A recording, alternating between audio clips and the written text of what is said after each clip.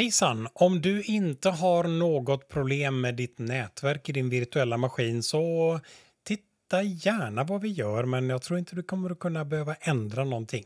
Om det däremot är så att du antingen inte har fått upp nätverket i din virtuella maskin eller om du har en laptop med VirtualBox på och eh, ibland är du hemma, ibland är du på skolan, ibland är du på ett företag eller någonting liknande. Du befinner dig helt enkelt i olika nätverksmiljöer. Då kan det här vara någonting för dig.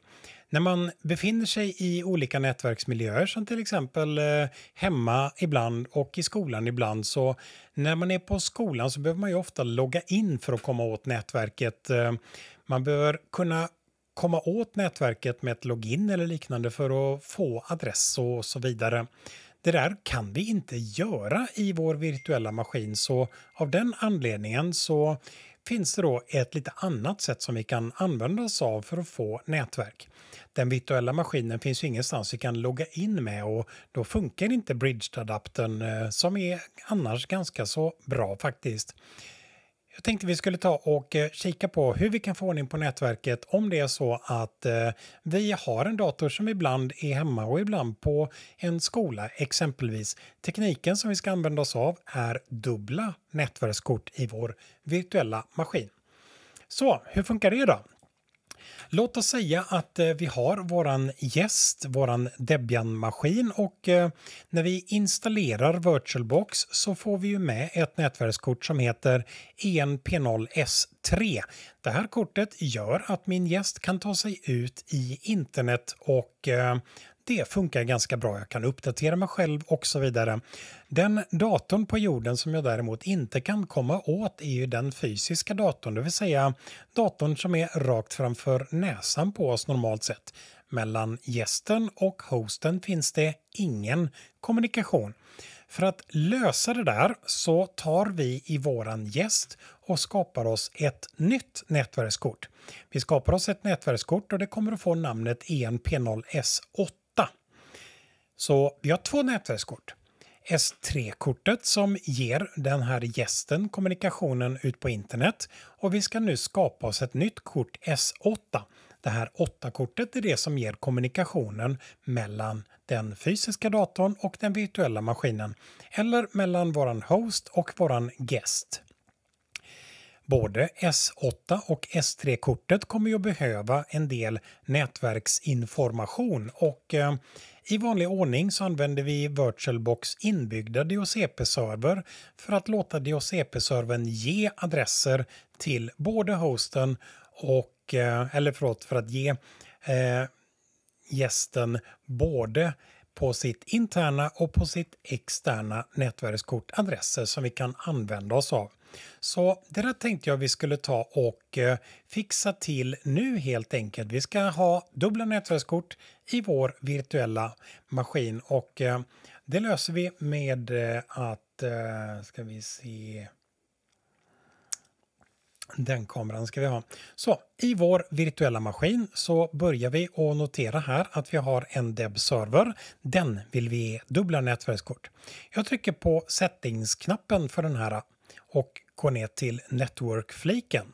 Här har vi i vanlig ordning en adapter 1 som är enabled och attached to NAT. Jättebra, den behöver vi inte ändra något på. Om du har en bridged adapter där istället så vill du nog ändra det här till en NAT-adapter istället. Andra förändringen är i adapter 2. Den vill vi enabla och vi vill säga att den är attached to host only adapter. Nu finns det ingen host-only adapter så i vissa fall så finns det det och i vissa fall inte. Jag har tagit bort min host-adapter för att kunna göra det här från början. Om det står något här, jättebra, men i mitt fall står det inget där så jag trycker cancel på den där och discard changes och börjar istället min resa med att trycka på file Tools och Network Manager.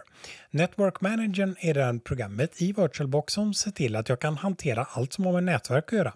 Jag startar igång Network Manager. I vissa fall finns det en rad, det står VirtualBox någonting här. Och eh, i mitt fall finns det inte. Om du har en rad där så markerar du den raden och trycker på Properties. Jag som inte har någon rad får trycka på Create. Den creatar en eh, host-only adapter och den här adaptern behöver jag nu sätta lite properties på. Jag går under min adapter och ger den en adress till att börja med. 192 168 100 blir bra och nice round figure. Så jag konfigurerar den manuellt och ser till att adressen är 192 168 100.1 Strålande. Så jag trycker på fliken DHCP-server. DHCP-servern är ju den servertjänsten som ser till att dela ut adresser i mitt nätverk och eh, det vill jag använda mig av. Jag enablar den här. Skriver in adressen 100. Jag tar och eh, fyller i lite saker här så kan vi ta och eh, prata om vad det är för saker jag har fyllt i typ nu. Så, vad har vi då fyllt i här? Jo, under DHCP-server så har vi till att börja med enablat den. Jag har gett den en serveradress som är 192.168.100.2. Servermasken har jag inte ändrat på. Det är fortfarande 255.255.255.0. Nollan här betyder att det är i det där adressområdet, i den oktetten som det heter, som mina IP-adresser kommer att delas ut inom. Sedan kommer vi till den där biten, Lower och Upper Address Bound. DHCP-servern är bland annat ansvarig för att dela ut IP-adresser. DHCP-servern vill veta vilken adress den ska börja att dela ut på och vilken den ska sluta att dela ut på. Den första adressen som eh, den här DHCP-servern delar ut är adressen 192.168.100. 100 och den sista adressen som delas ut är 192.168.100.200. Adressspannet här emellan är 100 adresser så 100 stycken datorer kan vara anslutna till den här adaptern och eh, den adaptern kommer att göra det eftersom jag känner på mig att vi kommer att använda en och bara en dator i det här så är jag tämligen säker på att den här datorn kommer att få adressen 192.168.100.100. Det kan vi kolla sen. Med de värdena ifyllda så trycker jag på Apply-knappen. Sådär, nu ska vi sätta de här nätverksinställningarna på den här virtuella maskinen så jag markerar Deb Server och trycker på Settings. Återigen till Network. Se till att adapter 1 är enablad och till NAT. Eh, inga konstigheter där. Samma sak som vi gjort förut. Adapter 1 enablad NAT. Nyheten kommer nu. Jag klickar på adapter 2. Jag enablar adapter 2, väljer typen Host Only Adapter och nu dyker min adapter upp i listan. Så på adapter 2 ska jag enabla den välja Host Only Adapter och se till att jag använder den där. Det finns för övrigt ingenting annat att välja i den där listan så det bör bli den där. Namnet som vi väljer här är det namnet som vi precis skapade oss i vår Network Manager. Jag är nu nöjd så jag trycker på OK-knappen och start på den här maskinen. Och igång är den. Nu är min virtuella maskin igång och eh, jag behöver ändra nätverksinställningarna i den här maskinen också. Jag loggar in som rot med lösenordet superhemligt som jag hade satt i alla fall. Jag vill nu editera en fil som har med nätverksinställningarna att göra. Jag skriver nano snedstreck etc snedstreck network snedstreck interfaces. Observera nu att jag använder tab-knappen hela tiden när jag skriver kommandot. Jag skriver int och trycker på tab-knappen och resten av orden följ, fylls i. Det här gör jag av två anledningar. Den ena anledningen är att eh, det går mycket, mycket fortare och den andra, nästan större anledningen är att jag stavar inte fel. Jag kan inte stava fel när jag trycker på tab. Så Nano Etsy Network Interfaces. I den här så finns konfigurationen för nätverkskorten. The Primary Network Card, vi kan väl skriva lite kommentarer här så att vi ser eh, vad som står.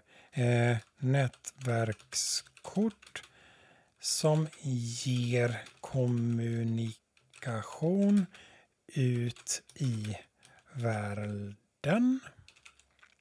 Så. Det vanliga nätverkskortet heter ENP0S3. Den är satt som Auto Hotplug.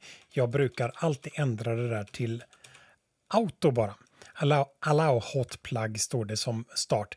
Skillnaden är att ett Allow Hotplug-kort har fått stöd för att eh, kunna startas igång och dra in och ut och fysiskt liksom ändras på underdrift.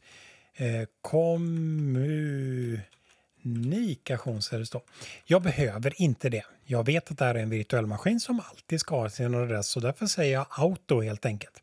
Jag vill definiera upp mitt andra nätverkskort. Eh, nätverkkort som ger kommunikation mellan host och guest. Det är det här nya nätverkskortet som vi ska skapa. Det här skapar vi genom att säga auto och namnet på det. S8 heter den, Auto ENP0 S8 och även det kortet är av typen interface, heter ENP0 S8 går mot internet och ska få sin adress via DHCP. Så, jag har nu definierat upp två stycken nätverkskort. Ett nätverkskort är EMP0S 3 som ger mig kommunikation ut i världen och ett nytt nätverkskort S8 som ger mig kommu... Vad svårt ord att stava. Kommunikation mellan host och guest. Det är det här S8-kortet som vi kommer använda för att prata med vår virtuella maskin. Jag är nöjd så jag trycker på Ctrl O för att spara det där och Ctrl X för att avsluta det hela. Om jag vill titta på hur min IP-lista ser ut nu så kommer den inte att säga mig någonting eftersom jag inte har startat om saker och ting. Så jag säger reboot för att starta om min virtuella maskin. Så reboot kommer att plocka ner maskinen och sen starta om maskinen. Och där är min virtuella dator igång så jag tar och eh, loggar in på den med rot. Superhemligt hade jag som lösenord. Nu vill jag veta vad den här har fått för adresser så jag skriver IP mellanslag A. Här ser jag att jag har nu två stycken datorer eller två stycken nätverkskort. ENP0 S3-kortet är det vanliga kortet som har en adress eh, 100215. Den går ut i nätet. Den bryr jag mig inte om. Den finns och funkar och allting är candy dandy. Mitt nya nätverkskort som jag skapade här ENP0S8-kortet. Det här nya kortet har fått IP-adress av DHCP-servern. Den har fått adressen 192.168.100.100. Det är det här som jag vill använda mig av. Så nu funkar antagligen allting och eh, det enda jag vill kunna göra nu är att SSH till den här datorn jag vill först och främst se om jag har SSH installerat. Jag kan exempelvis skriva eh, PS mellanslag AX för att få lista ut alla processer som körs för tillfället. Jag kan genom att säga eh, det här se i min lista att jag har, eh, ska vi se här nere någonstans. Du har säkert hittat det för länge sedan. Där har vi den. SSHD. Här körs SSH-demonen på den här datorn. Jättebra. Jag ser här att jag även har en webbserver igång och så vidare. Det är SSH-servern jag är intresserad av. Om det inte står någonstans SSHD kolon så kan jag installera SSH-servern genom att säga i rätt dator apt apt install open ssh-server. Om jag har SSH-demonen igång redan så kommer den här att säga precis Open SSH-server is already the newest version. Nu har jag satt nätverk och jag ser att SSH är igång. Det jag säger nu är Power Off på min dator för att stänga av min virtuella dator. Jag ska alldeles strax starta om datorn fast på ett mycket fräckare sätt. Jag vill kunna kommunicera med min dator på ett lite annorlunda sätt, ett lite roligare sätt. Om du använder en Linux-dator eller en Mac-dator så behöver du starta terminalen och skriva sudo vi eller sudo nano etsy hosts. Vi har Windows så vi ska göra det på ett lite annorlunda sätt. Jag vill använda mig av ett program som heter PowerShell för det här. Så jag trycker på Windows-knappen och skriver in Power. Här ser jag att det finns massvis med olika PowerShellar. Den där kanske du har installerad i den vanliga PowerShellen som följer med Windows. Jag har installerat en ny version av PowerShell, version nummer 7. Så jag tar personligen och kör PowerShell 7. Du kanske har PowerShell 5 eller liknande, lite beroende på vad det är för dator du kör. En viktig sak är att den här måste köras som administrator. Om vi är vanliga användare så kommer vi nämligen inte att kunna göra det som vi har tänkt att göra. Så med PowerShell markerat, antingen så högerklickar man på den och säger kör som administratör eller ja, vi kan väl göra så. Kör som administratör helt enkelt. En OK-knapp senare så får jag igång PowerShell och eh, jag ser att jag använder PowerShell 7.3 och eh, jag är administratör. Jag vill nu ta mig till mappen där Etsy Hosts-filen finns. Om du är på en Linux-dator eller på en Macintosh så skriver du sudo nano snedstreck etc snedstreck hosts. Så skriver du om du är på en eh, Macintosh eller på en eh, Linux-dator skriver du så. Jag är på en Windows-dator så det är jag och eh, alla andra som har Windows istället för att skriva är cd backslash w och trycka på tab. Här fyller den på med Windows. Jag skriver SY och trycker på tab. Jag ska inte in i system. Jag trycker på tab igen. System 32, jättebra. Jag skriver D R och trycker på tab. Den fyller hjälpsamt på med drivers och jag skriver in E och trycker på tab två gånger och den skriver ETC. Så, jag befinner mig nu alltså i mappen c Windows system 32 drivers etc. I den här mappen kan vi titta. I den här mappen finns en fil längst upp som heter hosts. Den där filen vill jag editera så jag säger Notepad mellanslag Host och eh, i vanlig ordning så använder jag tab-knappen hela tiden. Det är därför jag inte behöver skriva så många tecken. Notepad och Host-filen. Jag får då upp så jag kan redigera den här host-filen. Det jag vill göra är att lägga till en rad i den här filen så att jag inte behöver skriva den här långa krångliga IP-adressen hela tiden utan ett namn istället. Namnet som jag vill ge en kortväg för är 192.168.100.100 och eh, jag vill ge den kortnamnet debserver.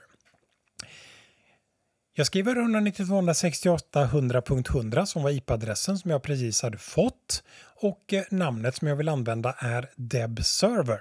Nu vill jag spara den här filen. Jag trycker på arkiv och spara. Om du är i Nano på en eh, Macintosh eller på en Linux-maskin så trycker du Ctrl O och Enter och eh, om du inte kan spara den här för att eh, låt säga att du är i Windows och inte kan spara den beror det sig antagligen på att du inte öppnade programmet som eh, administrator utan som vanlig användare. En vanlig användare får inte lov att spara saker i den här filen. Jag har varit vanlig eh, administrator eller jag har varit en administrator så jag får lov att spara filen och stänga filen.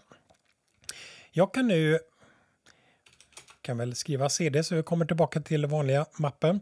Jag kan nu kommunicera med den här genom att säga ping deb server. Trycker på enter. Konstigt. Destination host unreachable. Just det, ja. glömde av en viktig grej. Jag glömde att starta server. Så, nu är allting igång och eh, så. Jag hoppar till eh, min VirtualBox. Där har vi den. Jag hoppar till VirtualBox och eh, nu ska jag starta servern, inte genom att trycka på startknappen. Jag trycker på pilen bredvid startknappen. Här står det Headless Start. Skillnaden mellan vanlig start och headless start är att när du trycker på headless start kommer det inte upp något extra fönster som, eh, som virtuella maskinen är i. Det kommer bara upp det här lilla preview-fönstret. I det här lilla preview-fönstret så kan jag då se när maskinen är igång och eh, om vi väntar en halv minut där ungefär kan jag hjälpligt se i preview-fönstret, zoomar in lite grann och jag ser i preview-fönstret att en login-prompt har kommit upp. Jättebra, nu är den här maskinen igång. Jag kan nu minimera maskinen, jag ser att den är igång, det står running på den också. Jag kan minimera den där maskinen så jag slipper det där. Om jag nu tar i PowerShell och trycker pil upp och skriver ping debserver så ser vi att nu går pingen igenom. Förut så gick pingen inte igenom Destination Host Unreachable. När jag startade maskinen å andra sidan så gick pingen igenom.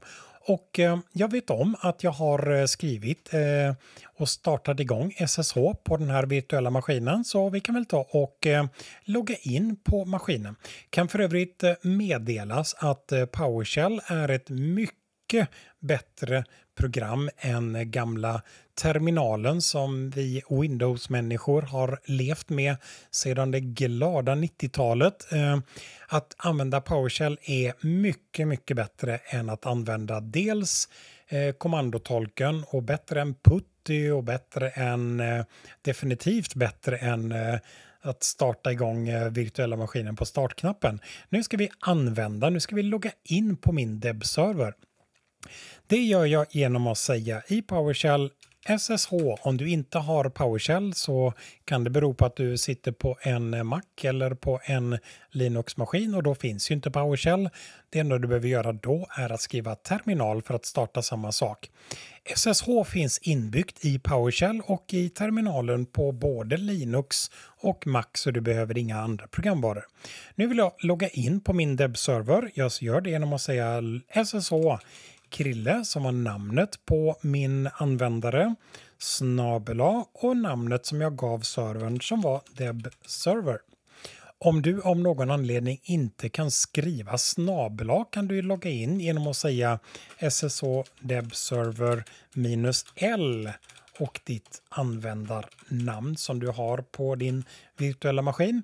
Jag kan dock skriva snabelatecken på mitt tangentbord så jag skriver krille at debserver.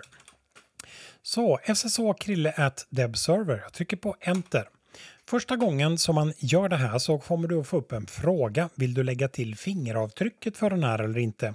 Du vill troligen lägga till fingeravtrycket så du skriver YES yes och trycker på enter.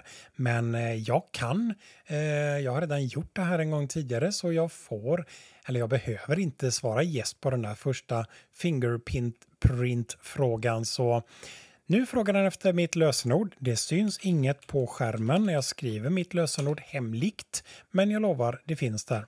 Så, Eh, funkar det här nu? Ja, jag vill bli rot för att se om jag kan göra saker och ting som eventuellt har med kursen att göra.